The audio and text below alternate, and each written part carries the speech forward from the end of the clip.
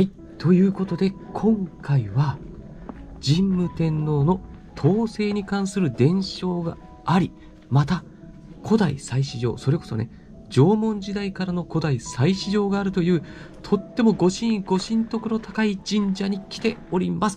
ということで、今回来ている神社は、岡山市東区東片岡にございます、綱掛石神社でございます。もう名前からわかりませんか？綱掛石でございます。ということでね、えー、ここは神武天皇のご統制の時にその三船、船の綱をかけた、友綱をかけたと言われる、そんな石がある神社でございます。そしてそこは縄文時代からの古代祭祀場であると言われておりますので、ぜひ最後まで見てください。ということで、この友掛石神社の御祭神は、田堀姫の御そして、さより姫の御田津姫の御でございます。さより姫の御はね、市木島姫の御のことでございます。はい。で、今ね、見ていただいているのは、もうね、わかる通り、草の生えた山の道を歩いております。ということで、これね、実は近くまで車で行こうと思うと、ちょっと危険でございます。というのが、むちゃくちゃ道路が細いんですね。なので、私が動画説明欄に、この辺りに止めてくださいねという、そんな場所、それを、えー、チェックしているというか、Google マップで貼り付けますんで、その辺りに車を止めて歩いて行っていただければと思います。私もね、ほんとね、真下まで行こうとして初めてだったんでね。そしたら細くて細くてどんどん細くなってきて、これは怖えやと思って、なんとかね、あのー、帰りまして、で、そこにいた、いらっしゃったね、あのー、お父様に声をかけて、ここに車止めていいですか？って言ったら、あ、あの神社行くんですけどって言ったら、え、どこの神社です？って言うから、どこどこです？たまあ、砂掛は神社です？って言ったら、あ、あそこですか。えっ、とね、あそこちょっと歩くと遠いよって言われたんですけど、うん、結局ね、そのお父さん、下まで連れてきてくれました。車に乗せてね。で、実はその方は、あの、氏子総代の方でね。で、私がここから、今から参拝するんですが、この時に、ん？この神社ってもしかして、あれ？これもしかして何か暗号みたいな何か秘密があるんじゃないかと私が感じまして参拝から終わって帰ってきた時に総代に質問したら総代はねわからない。わからないからちょっと今から宮司さんの家に行こうって言われましてえー、って話になったんですが近いから行こう。だって聞かれたのに答えられないもん。壮大なのに答えられないからということで責任を感じて、なんとね、この後宮司さんの家に行きまして、はい、私が思った疑問をそのまま宮司さんに質問すると、ニコッと笑って、実はそうなんです。というふうにおっしゃっていただきました。そして、この近くには、はい、滝神社あります。滝神社。はい、ここはね、ご祭神がセオリツ姫でございます。そんな神社がね、えー、この辺りにはいくつもありますので、ぜひ下の Google マップ地図で見ていただいて、そして、あとね、おあのおすすめの動画もね、何本か貼ってるんで、初めてご覧になっている方は、そちらもぜひ見ていただいて、チャンネル登録するかどうかを決めていただければと思います。ということで、今回来たね、この綱掛岩神社。標高で言うとね、まあ、どうかな、多分ね、50メートルないんですよ。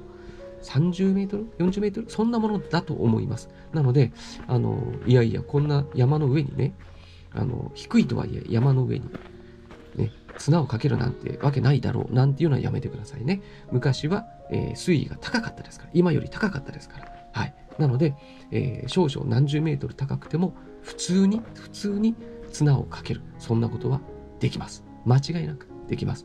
何しろ私の家のね、近く標高300メートル？ぐらいの山ありますけど、山の山頂に貝塚がありますから、貝塚があります。はい。ということで、これ、綱掛石神社さんでございます。はい。ということで、ここらね、ここでまずまあ20秒だけなんですけど、参拝して、実はこの後ろにある岩、ここに不動明王が祀られてるんですが、その不動明王が掘られた岩が、掘られた岩が秘密の岩。古代祭祀に関係する岩でございます。ということで、こちら、宗方三女神がご祭神です。どうぞご参拝ください。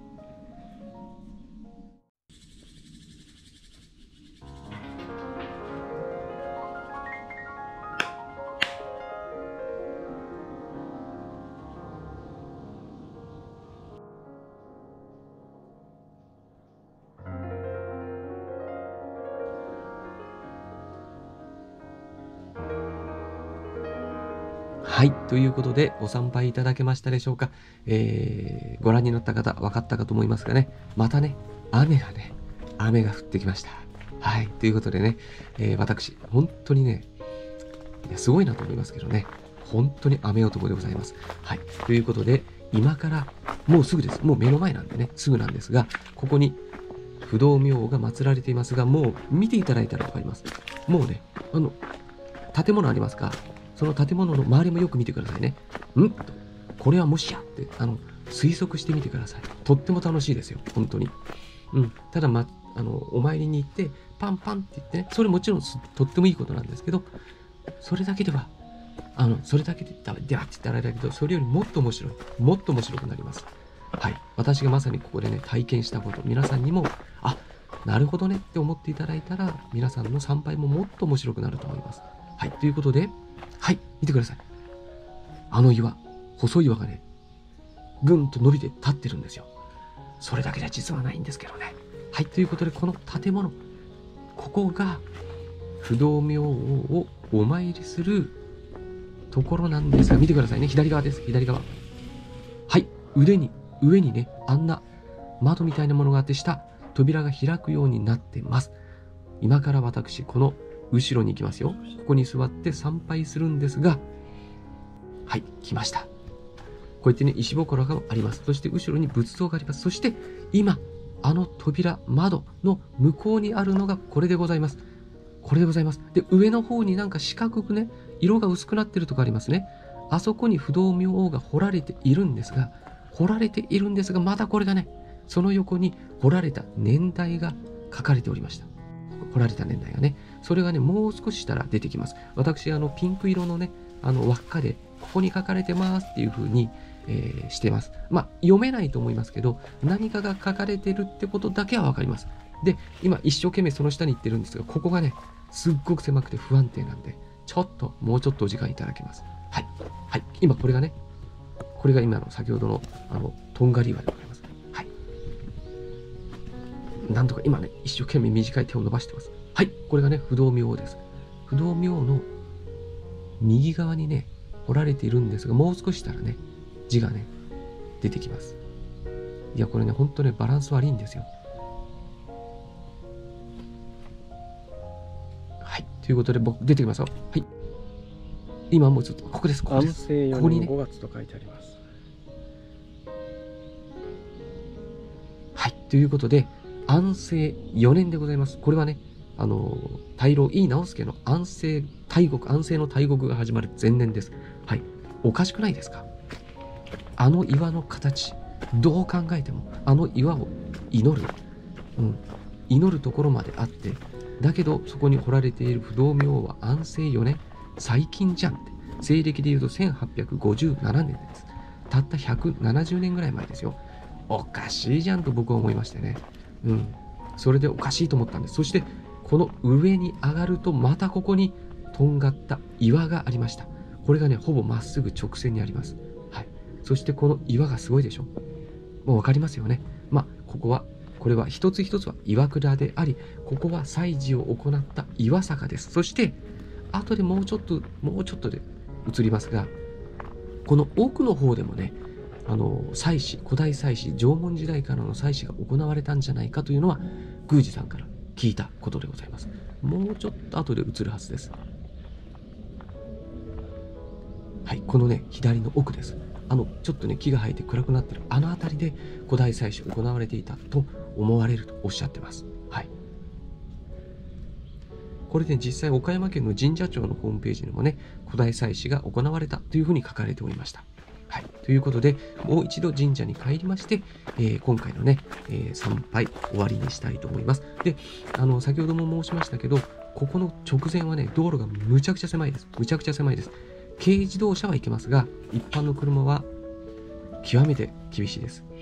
あの、する可能性結構高いです。運転によほど自信がないとね。なので、ぜひ、ちょっと歩きますが、手前に置いていただいて、参拝いただければと思います。そして近くには滝神社さん、瀬尾律姫をお祭りしている神社もあるので、合わせてそちらもね、参拝していただいたらなと思います。ということで、この後、先ほど言いました、氏子総代の方に質問をしたら、わかんないっていうことで、宮司さんのところに連れて行っていただきました。そして、宮司さんに、いや、不動明王って言ってもあれ、あの、安政4年ですよね。最近ですよね。どう考えてもあの岩の形とか上に岩がいっぱいある。あれってもともと岩倉なんじゃないですか？って私は聞いたんです。1857年安政4年おかしいですよね。